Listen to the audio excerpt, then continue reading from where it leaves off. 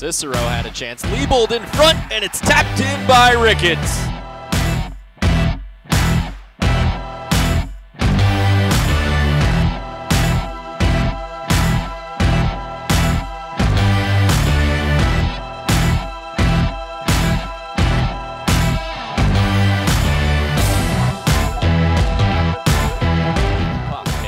Cicero.